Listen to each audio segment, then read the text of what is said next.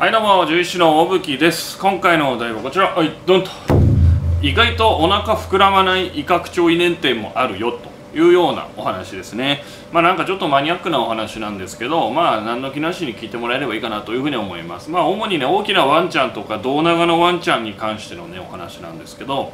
まあ胃拡張胃粘点まあ、胃拡張胃粘点症候群っていうんですかねあの結構夜間救急ではよく遭遇する緊急疾患なんですけども読んで字のごとく胃がガスでバーンって拡張しちゃって、まあ、ねじれちゃうっていうような状況でね、えー、まあ、一刻も早くそのねじれを解除したりしないとちょっと命が危ないというような状況なんですけど、まあ、胃が膨らんでねじれるんで、まあ、お腹がボーンって膨らむことが多いんです。まあ、あのお家でご家族の方が、まあ、そのどういうふうな状況になったら注意した方がいいですかみたいな時に、まあ、お腹膨らんでくるよよく膨らんでくるからそれもあの分かりやすいポイントだよねみたいなお話するんですけどあの、まあ、実はそれ絶対ではなくてですねこう結構胸が長いというか胴が長いというかね、えー、まあ、胸が深いっていうんですかね。肋骨が結構下の方まであるようなワンちゃんだとその肋骨の空間の胸の肋骨の空間の中に胃が収まってたりするとまあこう外見から見たらあんまり胃が膨らんでるように見えないような状況の時も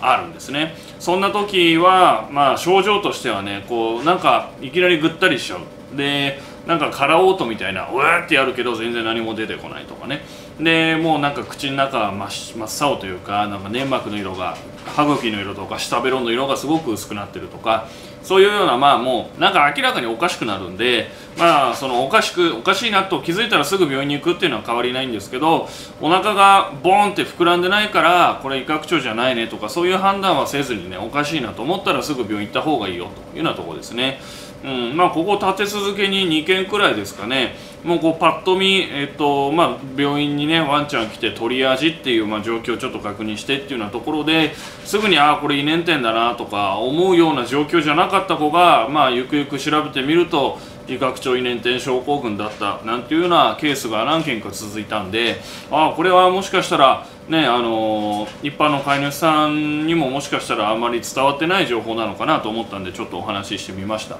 あの胃拡張胃粘点だからといってお腹が風船のように膨らんでる子も多いですけど全然お腹膨らんでないように見える子も中にはいますよというようなお話でした。まあちょっとマニアックなんでねあのどこで使うんじゃそんな知識ってなっちゃうかもしれませんけど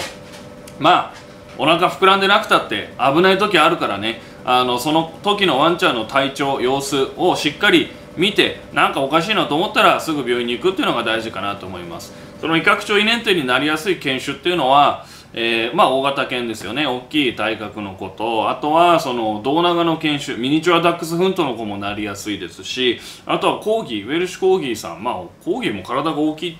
と思えば大きいですけどコーギーとか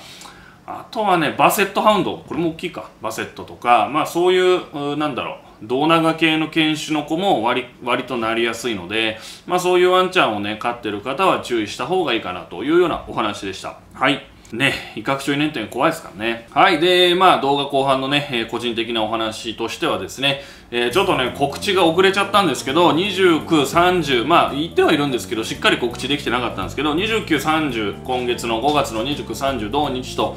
ワンちゃんの譲渡会やっておりますんで、えー、まあもう土曜、今これ撮ってるの土曜日になっちゃってるんですけど、えー、なんとか今日明日にこの動画出せればね、まだ譲渡会やってると思うんで、あのー、もし興味ある方、ちょっとワンちゃん探してるっていうような方いらっしゃったらですね、えー、ぜひ、えー、お越しいただければなというふうには思います。はい。でまあ、ダックスフントの子とあとはトイプードルの子とで毎度おなじみ、えー、シャイボーイのねとんがりくんと、まあ、この3匹ね、えー、今里親募集というような形でやっておりますのでまあぜひね、えー、興味ある方は連絡なり、えーまあ、実際お越しいただくなりしてもらえればいいかなというふうには思います、まあ、ちょっといつまで私のもとにいられるかわからないので、ね、もし興味ある方は早めに連絡いただければなというふうには思うんですけど。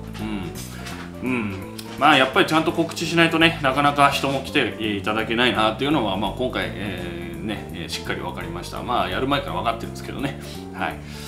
であとはそうだな。個人的ああそう、うん、来週来週か。もうそうだね。次の木曜日、えー、ねえー、6月の3日木曜日また FM 熊谷で、えー、お話をしてきます。小吹孝之の獣医師っぽいお話っていうラジオ番組をね FM 熊谷で、えー、夕方5時から1時間くらいねお話します。ワンちゃんとか猫さんのまあ主に猫じゃなくて主に犬のね熱中症のお話をしようかなと思いながら、まあ、その時お話一緒にしているね、えー、吉田さんっていうね、えー、パーソナリティの方が、えー、大動物牛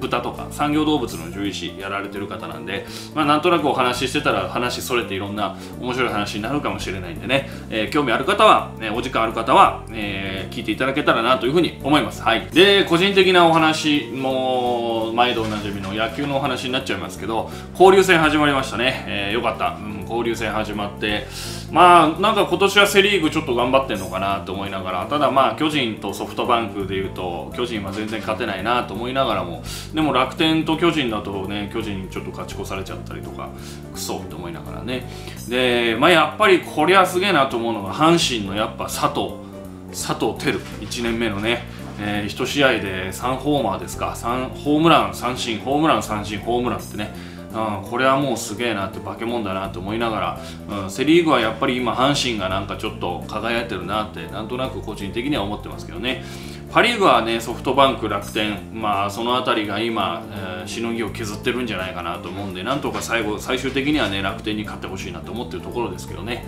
まあでも西武もなかなかやんちゃなやっぱ集団だから面白いんですけどね。まあそこをどうにか楽天が勝てればいいかなというふうに思っております。はい。そんなこんなで譲渡会やってますよというようなお話。来週木曜日、えー、ラジオやりますよというお話。で、まあ、今回の、ね、医療的なところでお話したかったのは、まあ、ワンちゃんでよく多いね胃拡張胃粘点症候群胃がボーンって膨らんだりボーンって膨らんでねじれたりする病気なんですけど多くは外見から見てパッと見お腹がもう膨らんでること多いんですけどお腹が膨らんでない場合もあるんで膨らんでないからと思って油断せずに体調がおかしいなと思ったらすぐ病院に行くっていうようなことを意識づけてもらえたらいいかなというふうに思います。そんな胃拡張胃粘点症候群のちょっとマニアックなお話でした。はい。毎週ねこんな感じで、えー、ワンちゃん猫さんの主に医療に関する情報を、えー、提供するチャンネルになっておりますのでもしよければですねチャンネル登録をしていただいた上で次回以降の動画もぜひチェックしていただけたらなというふうに思います。まあ譲渡会の情報だったりラジオの情報だったり、えー、まあ、プロ野球のお話だったりもうなんかやってます何でもやってますんでね、えー、ぜひよろしくお願いします。はいそんな感じで今回の動画はこれで以上になります。5月ももう終わりますね。また6月お会いしましょう。それじゃあさよなら。バイバイ。